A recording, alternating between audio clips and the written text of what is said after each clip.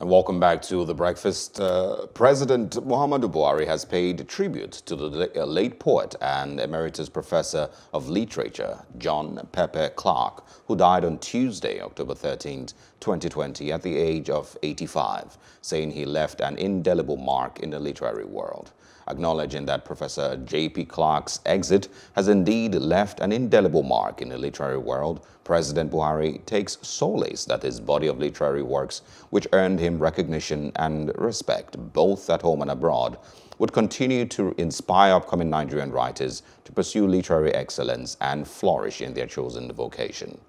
The governor of Edo State, Godwin Obaseki, described J.P. Clark as a great, a great academic and a celebrated poet whose literary exploits brought honor and great respect to Nigeria.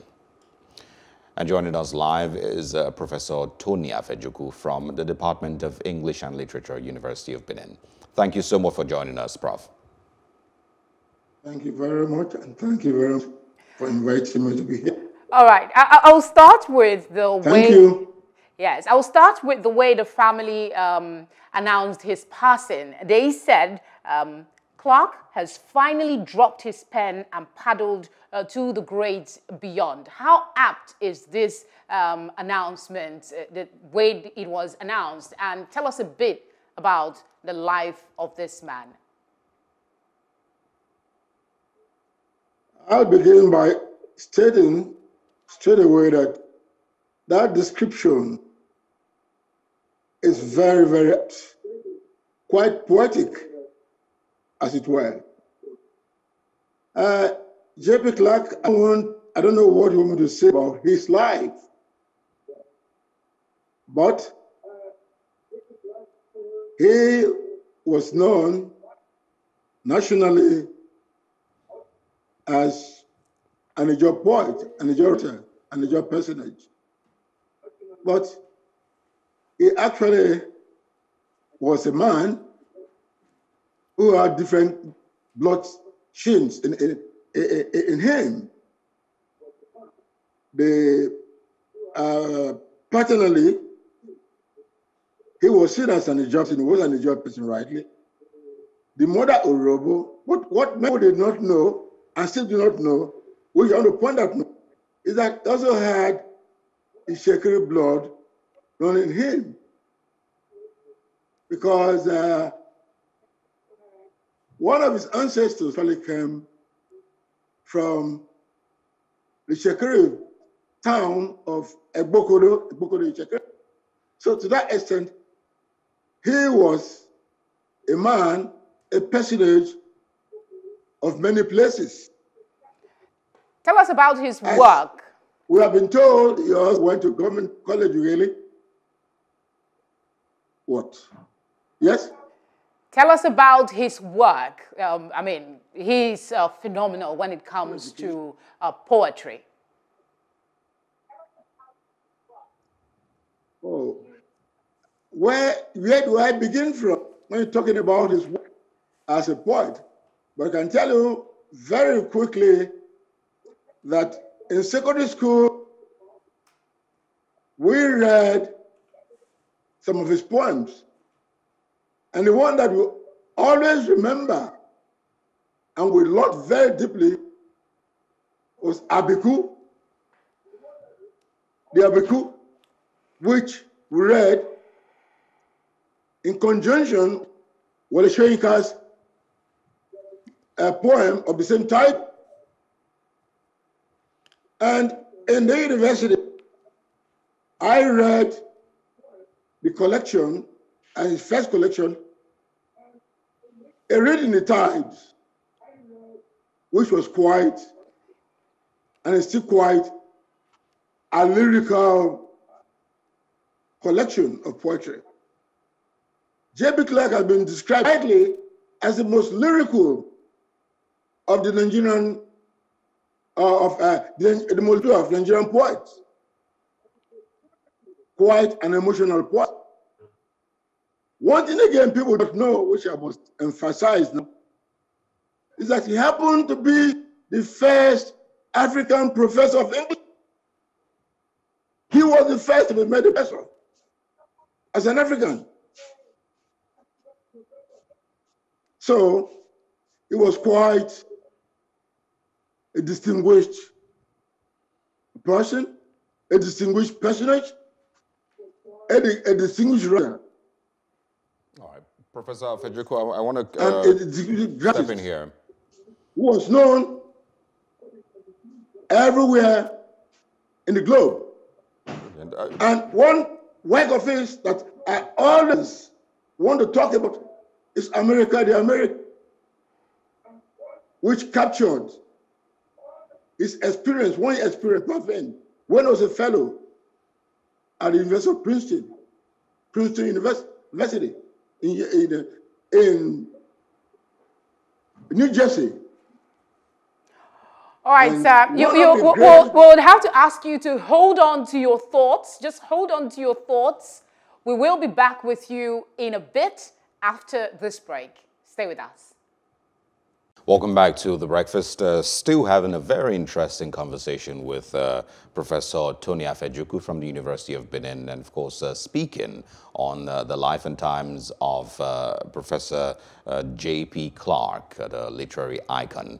Um, Professor Afejuku, I'm back to you now. Um, earlier, of course, in your statements, you, of course, acknowledged that J.P. Clark was a, a very, very prolific writer. He was also a poet a playwright and even a prose writer.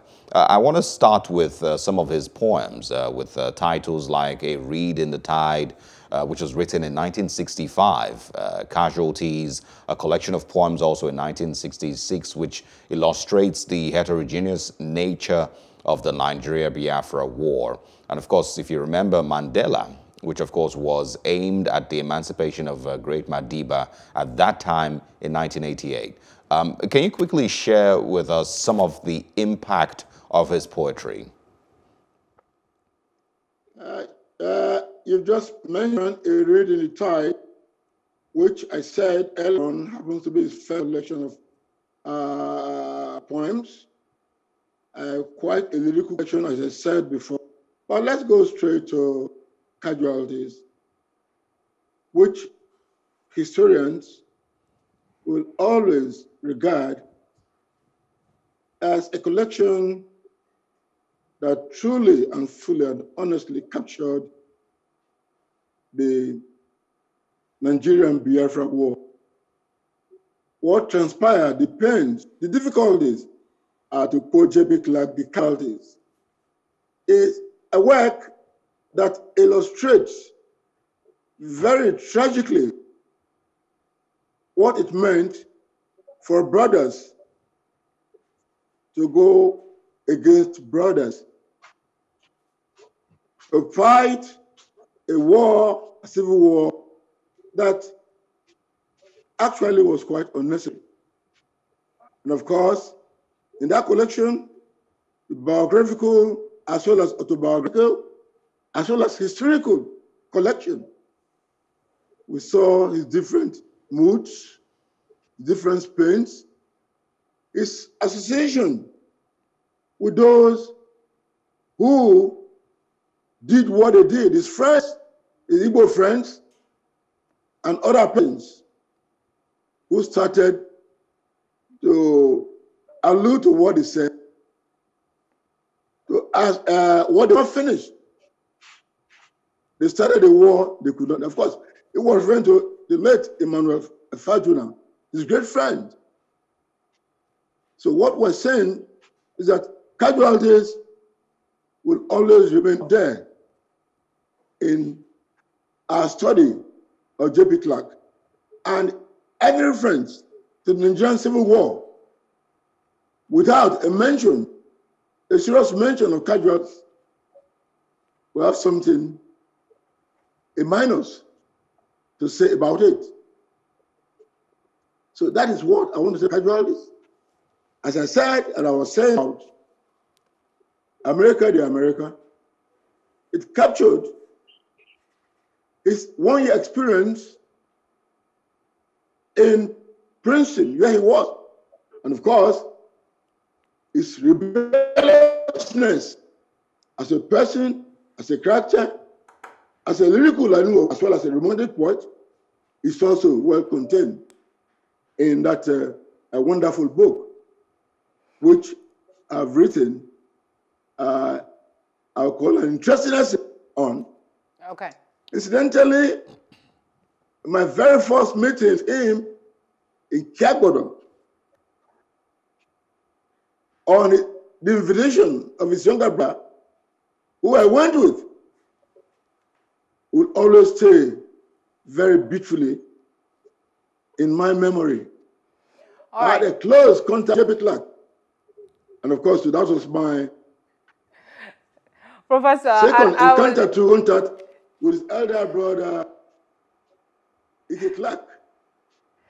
All right, Prof. I, I, was trying to interject. I know you have so many fond memories of um, uh, Professor JP. Um, let's look a bit about um, look a bit towards uh, recognition that he got for his work. So we know that in the early seven, in, in sometime in the seventies, um, his poem, I think, the Night Rain, was part of uh, the poems that was featured in the West African examination um, at the time. And uh, we also know that uh, he was given an award as the member of the Order of the Niger. Uh, the question is do you think um, that um, maybe he escaped um, much the required acclaim for his work because of um, his uh, um, how do I, penchant to stay away from the media? Uh, you know, like J.B. Clark was also a media person. He actually started his working career as a journalist, as a features editor. He's in the Daily Express, I remember exactly now. But he was a media person. But over the years, he stayed away from the limelight, the glaze. That was something, and she said, I couldn't fathom why I don't know. It was a taciturn person. And I remember asking this question in Kiagbodo. He didn't give me the answer that I thought I would get. Let's leave it at. Your reference to rain. I mean, very, very apt again, I must say. Because night rain, at the time it, captured what it meant to be a Niger person, his experiences, is very autobiographical of life in the Niger Delta. And what he said long ago is still very relevant today. You can see that the, the, the poet, as we always say, is a good mirror, not only of his environment, of his generation and of generations to come. So Night Rain is a very, very wonderful autobiographical couple of the life of every Nigerian, Ijo, Robo, Itsekiri, and others that you know we can name as it were. So that's another very, very wonderful uh, poem that you wrote, uh, written. But one influence that J.B. Clark had on me, I must tell you, in my first poetry lecture, A Garden of Moods, I had there a poem called Itsekiri Dancer. Incidentally, was first published by Chinobe in the Journal of African Writing that he founded, Okike. That poem was written after the manner of J. Clark's Agbor Dancer. And that's one poem that's the numeratics of my poetry always talk about too. How you can call it an imitation, a correct imitation of J.B. Clark. He influenced me in that uh, action. He used to Professor be Uh, I want, let me once again step in here and uh, uh, moving into the discussion on honoring these literary uh, giants and scholars. Uh, sometimes um, they are seen as non-conformist, uh, uh, rejecting awards. Uh, of course, if you remember, a very uh, uh, big case was uh, Chinua Achebe, who rejected uh, national honors a couple times from the federal government. Do you blame uh, the government for not honoring them um, as they should? Well, I don't know what you mean by blaming the government. Yes. What would be your What- what you suggestion? mean? by saying that the government did honor them as they should. But J.B. Clark was honored by the government, being a winner of the Nigerian uh, National Merit Award for intellectual achievement. I mean, that's one great honor that nobody can take away. Achebe also won that award, as well as Wole. I remember vividly that it was Achebe who rejected the honors bestowed on him, if I remember correctly, by uh, Olusegun Obasanjo as our president, because he wasn't happy with the way things were going on in Nigeria as at that time. In fact, things are even worse now. I think J.B. Clark himself just stayed away. He never commented on anything because there was nothing to comment about. Nothing good to say about the humanists. I think he was fed up with the Nigerian what? Uh, state. And towards, I would say, the end of his life, he was now writing what can call philosophical poetry.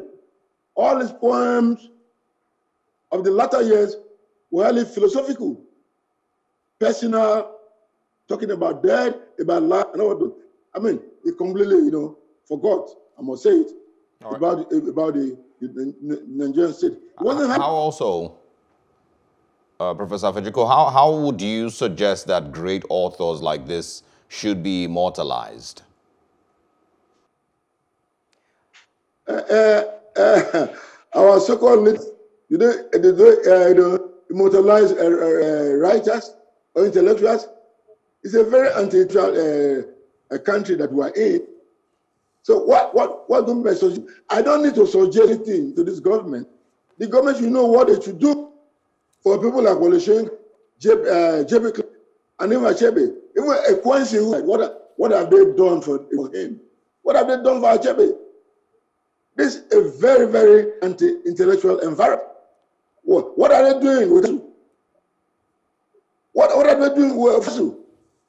You think JP Clark was happy? He was not he was happy at all. In fact, I think one or two years ago, if I remember correctly, the, in Unilag, there was a conference in, in, in of him, man. I was to be at that, I was to be at that conference, which again would have been a very, very uh, wonderful conference. But then I was away in the United States, and incidentally, I was talking about again America, the American Americans, about J.B. Clark. That's why I missed that conference. Well, uh, the only honor could have been done, one great one, that Unilag, you know, for him, in fact, was Uduang, Uduang governor who built the JLAC Center in Unilag, which would be there standing as a great honor, a great honor that we stand ever to immortalize him, we dare to immortalize him. one of Delta State did that. But what do you expect the federal government to do? For this man, like Achebe, like Soyinka, that has brought out the name of Nigeria, the image of Nigeria, very, very positively internationally. So All the right. government, the government do what it should, what it should do. I don't uh, know what the co can do, but I don't need to tell them. This All right, Professor. Has paid his dues for Nigeria, for mankind, for the world, for the universe. It All right, Professor. I, I, Even if they don't want to do anything. Um, I'm afraid that's the much time will permit us uh, on this part of the conversation. Thank you very much for joining us. The attention. Okay, I think uh, the network was bad. He couldn't hear me, but we still thank you again uh, for joining us and sharing uh, your thoughts. He's been talking to us about the uh, late emeritus professor of literature, John Pepper Clark. A legend, really. Total legend. Uh, I think my love for poetry started with some of the works that they put out. Um, I just go randomly looking for something new. Words have a way of, I don't know, I don't know how, a lot of persons don't um, you know, understand the genre itself. They just feel maybe it's words lined up together. But if you are someone that love letters, you will see the beauty. I mean, they put words and you can see them before your eyes yes. To appreciate uh, what they've done. I'm Amazing really, man. Really concerned about, you know, how we have also been able to push uh, literature and poetry and all of that over the years. If, you know, over time we've been able to get ourselves to a place where we can have the new J.P. Clarks and the new Wole Soyinkas oh, in we this have generation. loads of them. Just Um, the recognition. I mean, we, we have a whole lot of recognition for people, um, with no disrespect to the Big Brother Naija show and some of the reality TV show, the kind of publicity we get. Just go on Google, put in, look for Nigerian poets. There are zillions of them out there. It's just um, they don't get the recognition that they deserve. And the genre, like I said earlier, doesn't seem to appeal to a whole lot of people. lot of people, You know, except you have this passion for words, then you, the words will leap at you. They will come alive. I don't know. I'm just being a little dramatic because it's something I love so much. You obviously have a passion for I for certainly poetry. I- do. I, don't have, you know, that much. you know, I just- certainly do. We thank him for all that he has been able to gift us um, in words and opening our mind's eyes to see uh, beyond what is before us. Thank you very much to the late Professor John Pepper Clark. Hello, hope you enjoyed the news. Please do subscribe to our YouTube channel and don't forget to hit the notification button so you get notified about fresh news updates.